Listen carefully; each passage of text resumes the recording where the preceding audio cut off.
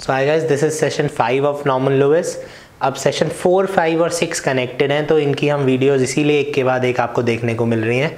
तो session four में हम लोगों ने बात की थी डॉक्टर्स की, किस तरीके के डॉक्टर्स उनके रूट्स एंड सो ऑन कुछ वर्ड्स हैं जो हम पहले कर चुके हैं तो हम बहुत ज़्यादा डिटेल में नहीं जाएँगे उन वर्ड्स के। I just quickly do a revision of that so हमारा जो पहला वर्ड है गायनोकोलॉजिस्ट जैसे हमने सेशन थ्री में बात करी थी गायनो मीन्स वेमेन तो इसके जो वर्ड्स हम सेशन थ्री और टू में कर चुके हैं they are miso misogynist poly polygynist monogynist bigynist right the next word is gynaecologist gynaecologist break करते हैं। लॉजी मीन्स पढ़ाई। I S T specialist gyno women तो ऐसे हमने पिछले सेशन में बात करी थी, वो डॉक्टर जो women reproductive organs women sexual organs का स्पेशलिस्ट होता है that doctor is called gynaecologist अब गायनोकोलॉजिस्ट गायनोकोलॉजी गायनोकोलॉजिकल क्या होता है कि अब आजकल एग्ज़ाम्स में पार्ट्स ऑफ़ स्पीच आने लगी है। तो हमारे को ये भी ध्यान रखना पड़ता है कि कौन सा क्या है। तो गायनोकोलॉजिस्ट इज़ अ पर्सन आदमी की बात हो रही है। गायनोकोलॉजी नाउन है, पढ़ाई। वुमेन रिप्रोडक्टिव ऑर्गन्स की पढ़ाई। And gynaecological is the problem जैसे हम बोलते हैं ना साइकोलॉजिकल प्रॉब्लम है कि आपकी सोच में प्रॉब्लम है। तो अगर आप किसी पूछते हो, क्या हुआ? वो कह दैट वेमेन सेज मुझे गायनोकोलॉजिकल प्रॉब्लम है मतलब लड़कियों की बीमारी है। Right so this is about the बीमारी। ये बीमारी का एडजेक्टिव है, ये नाउन है, और ये भी एक पर्सन का प्रोफेशन है। So this is the first word gynaecologist अब इसका जो दूसरा वर्ड है ऑब्स्टेट्रिशियन या मिडवाइफ ये इसलिए इंपॉर्टेंट हो जाता है क्योंकि अभी ये recently I think C H S L या उसमें आया था, एक स्टूडेंट ने मुझसे पूछा था तो ये काइंड ऑफ़ कन्फ्यूजिंग हो जाते हैं। गायनोकोलॉजिस्ट जो होता है, वो डॉक्टर है जो लड़कियों का इलाज करता है वेयर एज ऑब्स्ट्रिशियन या मिडवाइफ जो होती हैं, वो बच्चा पैदा करती हैं। इसका जो रूट आता है, इसका रूट इज़ बेसिकली ऑब्स्ट्रक्ट या स्टैंड राइट? तो जब बच्चा पैदा हो रहा था तो जो बच्चे को पकड़ने के लिए दाई माँ खड़ी होती थी उनको बोलते थे ऑब्स्ट्रिशियंस इंग्लिश में या मिडवाइफ्स सो so, इसका रूट आता है ऑब्स्ट्रक्ट से या स्टैंड से. तो जो बच्चे के सामने खड़ी होती थी जब बच्चा पैदा हो रहा था that women was called an obstetrician now इसमें एक बस रूट की हम बात कर लेते हैं शियन जैसे हम अभी तक आई की बात कर रहे हैं कि अगर किसी वर्ड के लास्ट में आई है तो that would mean a person who does something specific इसी तरह से सियन भी हमेशा नाउन होता है। म्यूजिशियन मैजिशियन फिजिशियन ऑब्स्टेट्रिशियन तो अगर सी आई ए एन भी आपके एग्ज़ाम में आया है तो it is a noun and we are talking about a specialist so the first two words of session five are gynaecologist root word gyno gyno means women अब misogynist आए polygynist आए, आपको पता होना चाहिए। Second one is obstetrician obstetrician का synonym है midwives and अगर आपको वन वर्ड सब्सटिट्यूशन आता है आपके एग्ज़ाम में और उसमें लिखा है a person who delivers babies तो गाइनोकोलॉजिस्ट नहीं होगा। दस में से नौ बच्चे गलत करके आते हैं।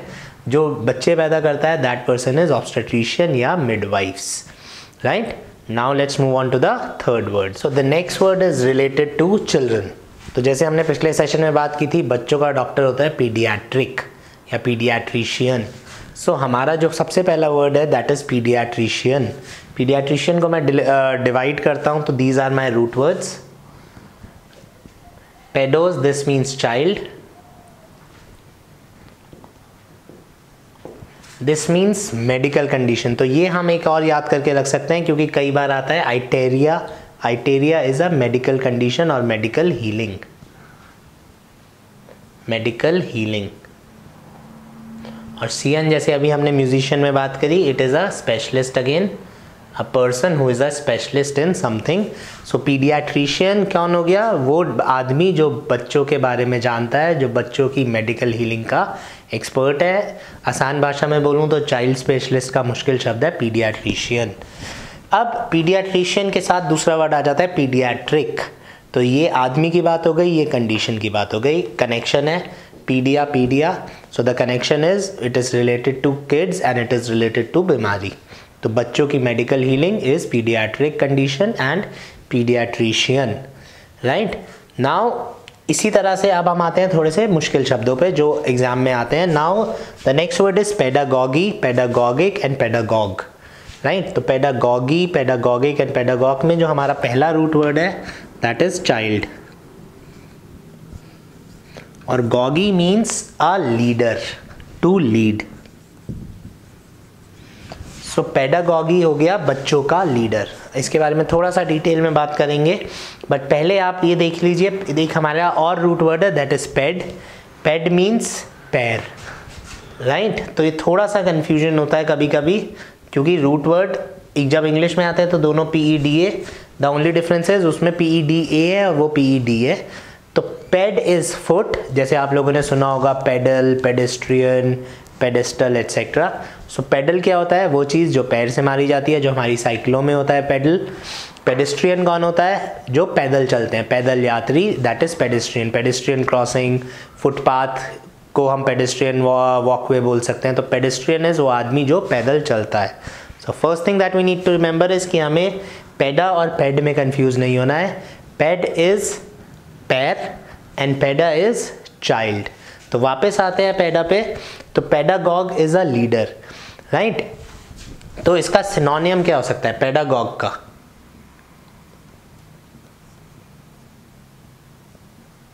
इसका सिनोनियम हो सकता है टीचर। तो अगर मैं इसके डिटेल्स में जाऊँ तो ये एक ऐसा वर्ड है जो आ, इस आ, बात करता था वो आदमी जो बच्चों को लीड करता है लीड किस चीज़ में करेगा? उनके डेवलपमेंट में करेगा उनकी पढ़ाई में करेगा उनकी लर्निंग में करेगा। तो बेसिकली इसका सिनोनियम इसलिए टीचर हो गया। लेकिन अगर हम मॉडर्न इंग्लिश की तरफ़ आए तो this means a bad teacher exams में हमें फ़र्क नहीं पड़ता। क्यों? क्योंकि pedagogue is a synonym of teacher हाँ एक बहुत डेफिनेट सी बात है जो आपको ध्यान रखना पड़ेगा कि अगर टीचर का उल्टा या बुरा शब्द चाहिए, आपको ख़राब टीचर लिखना है बैड टीचर लिखना है तो बैड टीचर का सिनोनियम भी क्या होगा? Pedagogue so gog is our next root word gog means a leader modern English में ये जो लीडर है ये नेगेटिव तरीके से यूज़ होता है. सो so, पेडागॉग वो आदमी बन गया वो टीचर बन गया जो कि थोड़ा सा बुरा है. सो so, जैसे हमने पेडागॉग की बात करी गॉग हमारा जो वर्ड है दैट इज़ लीडर लेकिन क्योंकि ये वर्ड थोड़ा सा डिटीरियरेट हो गया है बुरा मीनिंग हो गया है तो पेडागॉग हो गया एक बुरा टीचर बुरा टीचर मतलब जो कुछ समझने को तैयार नहीं हो जो नए तरीके अपनाने को तैयार नहीं हो, जो सिंगल हेडेड हो, जो मे बी ओल्ड फ़ैशन हो, कि नहीं, वही पढ़ना है, ये पढ़ने की ज़रूरत नहीं and so also pedagogue is a bad teacher now let's come to the next word demagogue जैसे हमने बात करी gog is again a leader और डेमा रूट वर्ड अगर मैं आप लोगों से पूछूँगा, ये सुना है आपने डैम डैम आपको सबसे कॉमन वर्ड मिल जाएगा, जैसे कि India is a democratic republic democratic में डेम आता है डेमो मीन्स लोकतंत्र लोक। सो डेमो मीन्स पीपल तो एक डेमोगॉग कौन होता है? डेमोगॉग होता है वो लीडर जो जनता का नेता होता है। मतलब a leader who is into office या जो आ, लोगों को रिप्रेजेंट करना चाहता है। मतलब अगर मैं आज के कॉन्टेक्स्ट में बात करूँगा तो हमारे नेता लोग नेता लोग। बट अब इस वर्ड के साथ भी सेम प्रॉब्लम है। Gog means a bad leader तो डेमागॉग कौन हो गया? वो लीडर जो अपनी वाइल्ड ओरेटरी से मतलब ख़राब स्पीचेस से, आजकल आपको बहुत ज़्यादा एग्जाम्पल्स मिल जाएँगे। बहुत सारे नेता हैं जो हेट स्पीच देते हैं, जो एक दूसरे रिलीजन की बुराई करते हैं जस्ट बिकॉज़ जिससे उन्हें वोट्स मिल जाए और वो पावर में बने रहें। So a demagogue is a leader जो अपनी वाइल्ड ओरेटरी ओरेटरी एक बहुत इंपॉर्टेंट वर्ड है। ओरेटरी मतलब बोलना। जो अपनी वाइल्ड स्पीचेस से ऑफ़िस में आना चाहता है इलेक्शन जीतना चाहता है दैट इज़ कॉल्ड और that person is called a demagogue so एक बुरा नेता जो कि हेट स्पीच देता है नफरत फैलाता है उस तरीके का नेता डेमोगॉग कहलाया जाएगा। सो so, हमारा जो नेक्स्ट वर्ड है that is related to skin तो सबसे पहले जैसे इसका मैंने बहुत बार एग्ज़ाम्पल दे दिया है इसको याद रखने का सबसे आसान दो प्रोडक्ट्स हैं आपने जो भी दोनों में से यूज़ किया हो। एक पाउडर आता है डर्मी कूल के नाम से और एक आ, क्रीम आती है मेडर्मा के नाम से। तो डर्म डर्मा ये सब क्या होते हैं? इन सब का मतलब होता है स्किन या खाल। राइट तो हमारा रूट वर्ड है derm this means skin so किसी भी शब्द में जब आप एग्ज़ाम्स में याद कर रहे हैं एग्ज़ाम्स वो कर रहे हैं अगर डर्म लिखा हुआ है तो दैट मीन्स इट्स स्किन तो अगेन मेरे को थोड़ा सा गैस मारने में आसान हो जाता है। सो so, अब हमारा जो फ़र्स्ट वर्ड है दैट इज़ हाइपोडर्मिक हाइपो का मतलब होता है अंदर।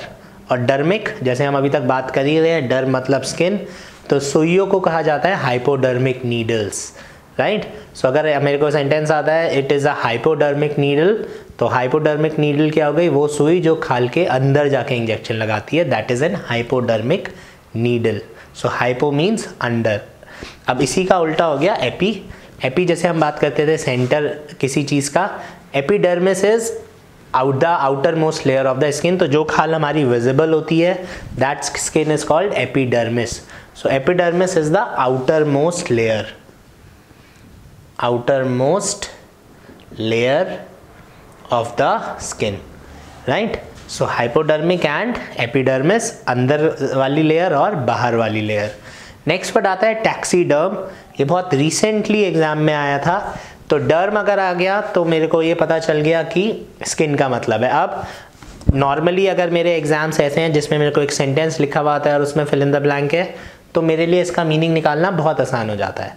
टैक्सीडर्म मतलब क्या होता है? टैक्सीडर्म होता है वो आदमी जो अगर हम बात करें पुराने ज़माने में तो जब राजा महाराजा शिकार करते थे तो उसके बाद शेर की खाल में भूसा भरवा के शो पीस की तरह रखा जा सकता था कि ये शेर मैंने मारा। तो जो उस स्किन को केयर करता है डिसइनफेक्ट करता है और उसमें भूसा भरता है that person is called taxi taxidermist so taxiderm क्या हो गया? टैक्सीडर्म इज़ अ नाउन तो जानवरों में जो भूसा भरा जाता था, जानवरों की खाल में, उस काम को करने का, को क्या कहा जाता था? टैक्सीडर्मी और वो आदमी क्या हो जाता था? Taxi taxidermist so taxidermy again मैं हिंदी नहीं लिख रहा हूँ, आप इसको याद करने के लिए इसका हिंदी का यही वर्ड होगा, जानवरों की खाल में भूसा भरने वाला राइट सो वन वर्ड आ सकता है, आपको एग्ज़ाम में आएगा who fills who fills things in dead animals that person is a taxidermist next word is pachyderm अब मैं बोलता हूँ एग्ज़ाम में आता है एलिफेंट इज़ अ पैचीडर्म ठीक है? अब सबसे पहले तो मैंने पैचीडर्म बोला बट इसका जो एग्जैक्ट प्रोनाउंसिएशन है that is pachyderm right so हमें सी एच वाई लिखेंगे, जब आप याद कर रहे हैं तो अगेन पैची मत बोलिएगा it is pachyderm so exam में आएगा elephant is a pachydermis animal right अब मैंने लाइफ में पहली बार ये वर्ड सुना है, मुझे ये भी नहीं पता कि पैकी बोलना है कि पैची बोलना है तो एग्ज़ाम में फ़र्क नहीं पड़ता। बट अब मैं इसमें तुक्का कैसे मारूँगा? डर्म देख के मुझे समझ में आ गया कि खाल की बात हो रही है। अब एग्ज़ाम उसने कौन से जानवर की बात की है? उसने बात करी है एलिफेंट की, या वो बोलेगा rhino is a pachydermist animal या hippo is a pachyderm so pachy इन तीनों की खाल कैसी होती है? इन तीनों की होती है मोटी चमड़ी right so pachydermist is a person who has thick skin बहुत सारी मम्मियों को डांटने का शौक होता है कि तेरी तो चमड़ी मोटी है, तेरे को डांट का असर नहीं पड़ता। तो अगर सोचिए आपकी मम्मी आपको इंग्लिश में डांटने लगे और ये वाला डायलॉग बोले तो क्या बोलेंगे? You are a pachyderm you are a pachyderm मतलब तुम एक मोटी खाल वाले जानवर हो जिसको कुछ असर नहीं होता। So that is a pachydermis right and the last word is dermatitis अब आपको बस ये टाइटिस याद रखना है। टाइटिस इज़ अगेन हम बहुत आसान रखते हैं इसको इसको मानते हैं बीमारी। अब वो कोई भी टाइटिस हो, अगर किसी भी शब्द के लास्ट में टाइटिस है तो वो बीमारी हो गया। तो डर्मेटाइटिस क्या हो गया? खाल की बीमारी एलर्जीज वगैरह जो होती हैं, हर तरीके की आपकी स्किन की एलर्जी को बोला जाता है dermatitis right so dermatitis is an allergy या खाल की स्किन की बीमारी। तो स्किन की किसी भी बीमारी का एक जनरल वर्ड हो सकता है डर्मेटाइटिस इसमें जो मेरे को वर्ड याद रखना है that is titis titis word is about बीमारी। So this this was our word for skin skin से related word so the next word is eye जैसे हम लोगों ने बात की थी ऑप्थेमो ऑप्टो ये सारे वर्ड्स होते हैं आई से रिलेटेड सो अब सबसे पहले हमारे जो दो वर्ड्स हैं ऑप्थेलमोलॉजिस्ट एंड ऑक्यूलिस्ट ये दोनों को मैं बोल सकता हूँ सेम है या सिनोनियम्स हैं. ये थोड़ा सा पुराना शब्द है, ये नया शब्द है. तो आजकल आई स्पेशलिस्ट को बोला जाता है ऑप्थेलमोलॉजिस्ट और पुराने ज़माने में वो क्या बोला जाता था? ऑक्यूलिस्ट दोनों जो है रूट वर्ड्स हैं for vision for lenses and all so अगर आपको आई स्पेशलिस्ट का सिनोनियम आता है तो दोनों लिख सकते हैं. अगर आपको ऑप्थेमोलॉजिस्ट आ गया, नीचे ऑक्यूलिस्ट लिखा है तो लिख सकते हैं. अगेन रूट वर्ड मुझे क्या याद रखना है? Opto ocular opto and ophthalmo O वाले तीनों चारों ये जो रूट वर्ड्स हैं, ये सारे रूट वर्ड्स हमारे को आई या विजन से रिलेट करते हैं. ऑप्टिशियन आप याद रख सकते हैं. ऑप्टिशियन आपको पता ही होगा. तो ऑप्टिशियन का जो भी जो ओ है that is the same word so ophthalmologist and oculist अब ऑक्यूलिस्ट से जो हमारे तीन वर्ड्स आए हैं वो आए हैं मोनोकोल मोनो मीन्स एक और कोल मीन्स विजन तो मोनोकोल वो वाली दूरबीन होती है जो एक ही आपने देखा होगा जो पुरानी पिक्चरों में आ, समुद्री लुटेरों के पास होती थी. पायरेट्स ऑफ़ द कैरेबियन में जॉनी डेप के पास थी. राइट सो अब अ बाइनोकुलर और मोनोकॉल जो सिंगल लेंस होता है जिसको आप एक आग पे लगा के देखते हैं। That is monocle binoculars bino का मतलब बाई का मतलब हो गया टू तो बाइनोकुलर हो गया हमारी नॉर्मल दूरबीन। अब बाइनोकुलर इज़ वन वर्ड जो स्पॉटिंग एरर्स में भी आता है बिकॉज़ बाइनोकुलर कोई वर्ड नहीं होता it is always pronounce as binoculars right और इसको हम हमेशा क्या मानते हैं? प्लूरल मानते हैं। अगर आपकी एक दूरबीन होगी तो भी आप उसको बोलोगे माई बाइनोकुलर्स आर ठीक है, अगर एग्जामिनर ने मैं बायनोकुलर इज़ लिख दिया तो वहाँ पे वो स्पॉटिंग एरर की भी गलती हो गई। तो बायनोकुलर इसलिए हमारा शब्द इंपॉर्टेंट हो जाता है बिकॉज़ ये स्पॉटिंग एरर्स में भी आता है। And the last word is inoculate ocu का मतलब अगेन आई हो गया इनका मतलब अंदर हो गया। तो जहाँ हम आपको इंजेक्शन लगाते हैं, उसका जो टेक्निकल टर्म होता है, आपकी खाल में क्या बनती है? आँख बनाई जाती है। राइट? right? जैसे आपको ग्लूकोज चढ़ना है किसी को किसी को कुछ ड्रिप चढ़नी है तो आपकी खाल में या आपकी उसमें छेद करके सुई लगा के चिपका दिया जाता है। तो डॉक्टर में भी नर्स को क्या कहता होगा कि पेशेंट को इनोक्यूलेट कर दो फिर ड्रिप लगा देंगे। तो इनोक्यूलेट इज़ जब हमारा स्किन में छेद करके उसमें आ, सुई डालते हैं दैट इज़ कॉल्ड आई बनाते हैं दैट इज़ कॉल्ड इनोक्यूलेट। दो तीन वर्ड्स बचे हैं इसके let's just quickly do them so the last two words are optometrist and optician वापस हमारा पहला रूट वर्ड वही है, जिसको हम बोलते हैं आँखें या विजन और अब ऑप्टीमेट्रिस्ट अगेन बहुत मीटर मीटर मतलब लंबाई, दूरी metre is a unit of measurement so optometrist वो आदमी होता है जो आपकी आय नापता है। वो आपका चश्मा बनाने वाला भी कर सकता है, वो आपका डॉक्टर भी कर सकता है, वो डॉक्टर के बाहर का कंपाउंडर भी कर सकता है। तो ऑप्टोमेट्रिस्ट की एक डिग्री होती है अगर आप ऑनलाइन पढ़ेंगे। Generally no one is allowed जब तक कि उस पर डिग्री नहीं है। हाँ लोग करते हैं but it is a there is a degree to measure vision so optometrist अगर मैं पुराने ज़माने में या उन दुकानों पे बोलूँ जिन पे कंप्यूटराइज आई चेकिंग नहीं है तो वो आदमी जो आपकी आँखों में चश्मे चश्मा पहना के वो एक लेंस वाला और लेंस रखता रहेगा और पूछेगा, आप साफ़ दिखा, आप साफ़ दिखा, आप साफ़ दिखा। और फिर जब आप कहोगे हाँ आप साफ़ दिखा, आपका वो वाला चश्मा बना देगा। That person is an optometrist तो जो आपकी आँखों की दूरी नापता है। Whereas optician C I N हमने बात की थी इज़ अ स्पेशलिस्ट तो ऑप्टिशियन वो आदमी है जो चश्मा बनाता है। So optometrist and optician these are the last two words एक बार इनका मीनिंग लिख लेते हैं।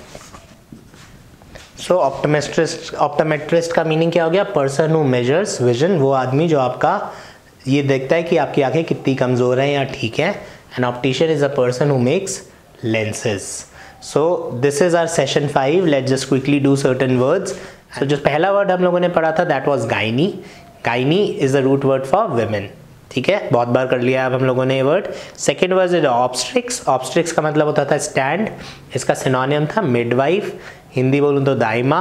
सो गाइनोकोलॉजिस्ट बच्चा पैदा नहीं करता ऑप्स्ट्रिक्स या मिडवाइफ बच्चा पैदा करते हैं।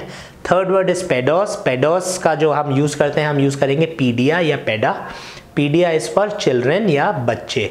ठीक है तो बच्चों का डॉक्टर पीडियाट्रिशियन तो हमारा जो थर्ड वर्ड था that was peda fourth is ped pedis pedal से आया है। पेड मतलब फुट तो पेडल पेडल इज़ पेड अब पेड और पीडिया में कंफ्यूज मत कीजिएगा। सो पीडियाट्रिशियन इज़ बच्चों का डॉक्टर पेडल पेडेस्ट्रियन इज़ जो पैदल चलता है। सो रूट वर्ड्स क्लोज है कन्फ्यूजिंग लग सकते हैं। नेक्स्ट वर्ड इज़ गॉगी या gog gog is a leader right अब ये जो वर्ड है ये थोड़ा सा नेगेटिव हो गया है। जैसे हमने बात की थी demagogue so demagogue is a leader जो हेट स्पीच दे के लोगों को भड़का के एक दूसरे जैसे इंडिया में बहुत होता है आजकल।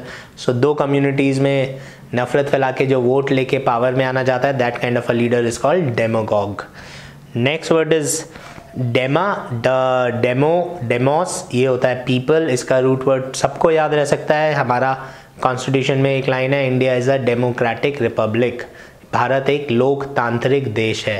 तो डेमो मतलब लोक या people next word is derma derma is skin इसको हम याद रख सकते हैं डर्मिकुल या मेडर्मा से। तो डर्म वर्ड कहीं पे भी आएगा तो हम बात कर रहे हैं स्किन की। Next word is hypo. Hypo का मतलब होता है अंदर। तो हाइपोडर्मिस जो खाल के अंदर जाए नीडल्स को कहा जाता है hypodermis needles. Next word is ophthalmo, ocu. Ophthalmo is the root word for eyes next word is mono. Mono मतलब बाय। मोनो मतलब one. Next word is bi. Bi मतलब two. Right cian is always an expert like I S T तो cian word किसी के भी last में लिखा होगा it would be a noun and the last word is metre metre मतलब नापना मेज़रमेंट सो जो वर्ड्स हमने करे थे that was dermatology dermatology skin की पढ़ाई. हाइपोडर्मिक इज़ वो सुई जो अंदर चली जाए. एपिडर्मिस इज़ बाहर की लेयर खाल की. टैक्सीडर्मिस्ट इज़ वो आदमी जो खाल में भूसा भरता है. जो पुराने टाइम में जानवरों वगैरह की खाल में भूसा भूसा भरने वाले लोग होते थे that was taxidermist pachyderm is मोटी चमड़ी वाला जानवर. Dermatitis dermatitis is titis means बीमारी. सो डर्म इज़ स्किन तो खा स्किन की बीमारी is that next is ophthalmology ophthalmology is आँखों का पढ़ाई, आँखों के डॉक्टर जो पढ़ाई करते हैं that is ophthalmology oculist ocular mono oculist और ऑप्थेलमोलॉजिस्ट सेम वर्ड हो जाता है। सिनोनिम्स है, हमें याद रखना पड़ेगा। मोनोकोल इज़ एक एक शीशे वाली दूरबीन या एक विजन वाली दूरबीन, जैसे कि पायरेट्स वगैरह के पास मूवीज़ में दिखाई जाती है। बाइनोकुलर इज़ दो तो नॉर्मल दूरबीन, जिस, जिसमें दो दो लेंसेज होते हैं that is binocular inoculate is आपकी जब स्किन पंचर होकर उसमें स्किन वो बनाई जाती है सुई से, जिससे आपको ड्रिप वगैरह चढ़ती है देन ऑप्टोमेट्रिस्ट आँखों को नापने वाला कि कितनी खराब हुई हैं ऑप्टिशियन चश्मा बनाने वाला so these were certain words that we did Now let's quickly talk about a small practice test. So first is hypodermic. सबसे पहले तो मैंने देखा डर्म अगर एग्ज़ाम में था डर मतलब खास, खाल अब अगर मेरे पास ये पाँच ऑप्शन छः ऑप्शन हैं तो स्किन स्किन विजन वाले हमारे ऑप्शंस गलत हो जाएँगे। तो हमारा मेजर विजन गलत हो गया। बाकी सारे हो सकते हैं। हाइपो का मतलब अंदर। तो हमारा इसमें आंसर क्या हो गया? अंडर द स्किन सो हमारा फ़र्स्ट का आंसर हो गया under the skin epidermis is the outermost layer outermost layer is E तो ये हमारा आंसर हो गया number two so epidermis is हमारी स्किन की आउटर मोस्ट लेयर जो हमारे को विजिबल होती है। This is epidermis pachyderm is मोटी चमड़ी वाला जानवर। तो इन सब में एलिफेंट ही है मोटी चमड़ी वाला तो this is pachyderm dermatitis this is बीमारी this word will help me derm skin and titis is बीमारी तो मैं देख लेता हूँ, बीमारी इज़ इन्फ्लेमेशन इन्फ्लेमेशन बहुत तरीके से यूज़ हो सकता है इन्फ्लेमेशन इज़ अगर मैं स्किन की बात करूँ, सूजन, लाल होना, जलन होना, सब इन्फ्लेमेशन पे आएगा एलर्जी किसी भी तरीके की एलर्जी इज़ दिस सो ये मेरा आंसर हो गया four now the last two words इसमें हमारा रूट चेंज हो गया। हम डर्म से आ गए ऑप्थो पे, या ऑप्टो पे। तो दिस इज़ विजन आँखें। तो ऑप्थेलमोलॉजिस्ट हो गया डॉक्टर ठीक है? तो आई डॉक्टर, नंबर फाइव। इसका जो दूसरा वर्ड है ऑक्यूलिस्ट आपको याद रखना है। ऑप्थेलमोलॉजिस्ट का सिनोनियम होगा oculist and the last word is optometrist metre metre मतलब नापने वाला। तो ऑप्टोमेट्रिस्ट हो गया, जो आपकी आँखों का विजन नापता है। तो एक ही बचा है this is our answer six so this was the revision of session 5 and we'll soon come up with session 6 till then bye bye Thanks for watching the video. If you found this video helpful, press the like button, subscribe to our channel and ring that bell icon so that you can get notified every time we upload a new lesson.